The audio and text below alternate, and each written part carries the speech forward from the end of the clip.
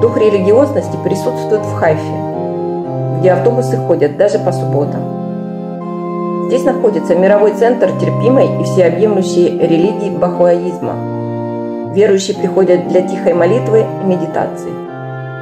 Гармония и спокойствие бахайских садов контрастируют с кипучей жизнью портового города –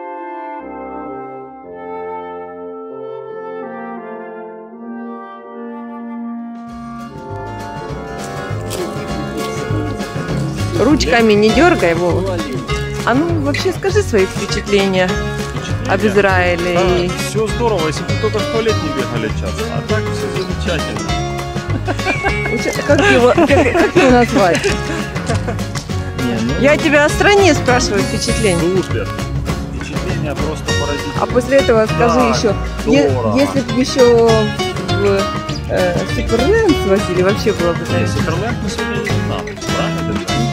Туалеты в Израиле такие, которых нет ни в одной стране. А пап, а, а баб вообще в честь тебя назван, да? А, а баб? баб да, баб, не, баб, не пап, баб. а баб. Наполеон говорил об Ака, что это жалкая крепостишка. Если бы он взял его, дорога на восток была бы открыта. Но Наполеон так и остался на поступах города.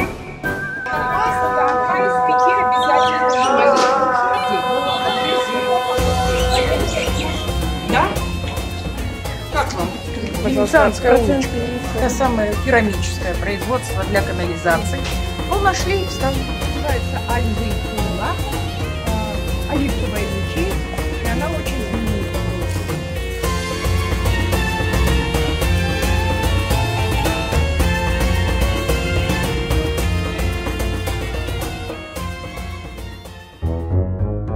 В этом магазинчике можно заказать любую вещь, и она будет эксклюзивной.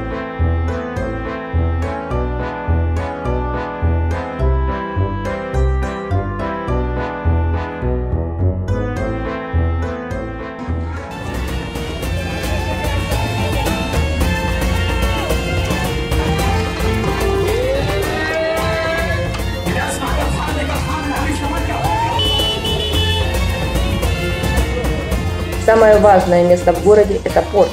Благодаря ему город живет и процветает несколько тысячелетий.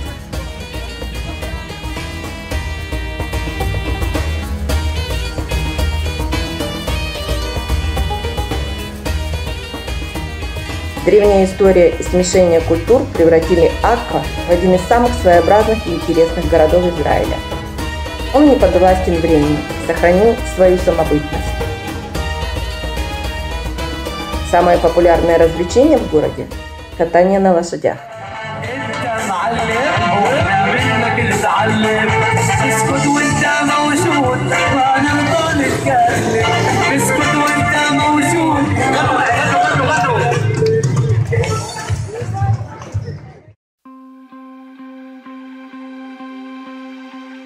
Каждый раз, когда я приезжаю в Яффу, город открывается по-новому.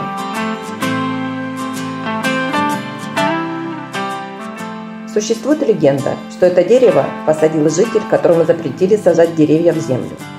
На самом деле это скульптура.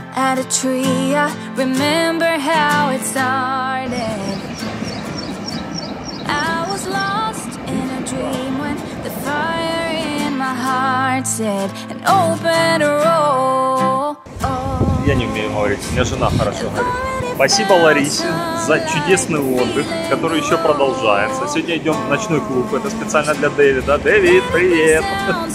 Это специально для твоей жены, потому что Дэвид этого не поймет. Современный Тель-Авив – процветающий и шумный город, деловой и коммерческий центр. Старый Тель-Авивский порт открылся в День Советской Армии 23 февраля 1938 года.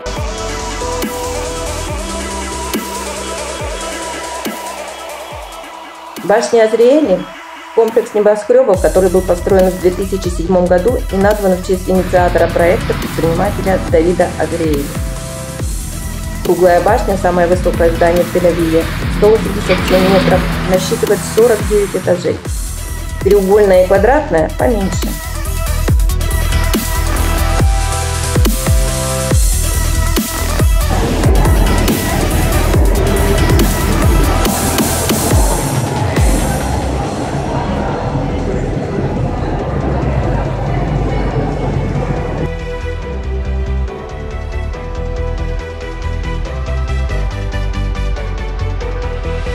На 49 этаже круглой башни находится закрытая смотровая площадка. Открывается потрясающий панорамный вид на Тель-Авив.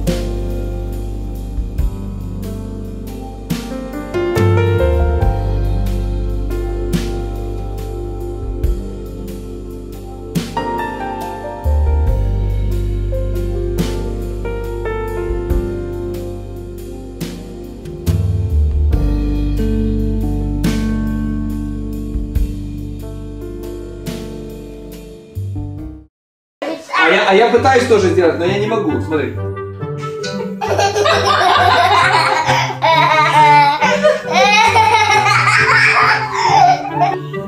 Смотри, вот еще одна рыбка.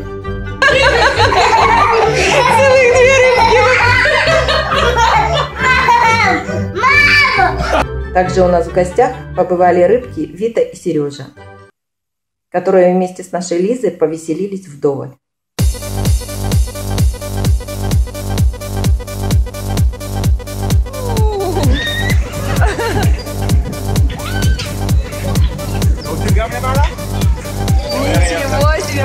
Вот это да!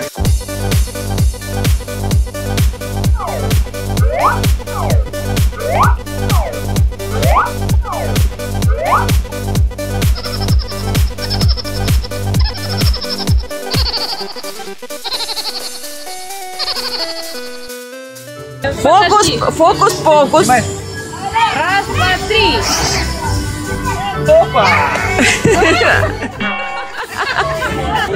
Раз, два, три. Волшебная бочка открывается. Жаль, она сама сбросит.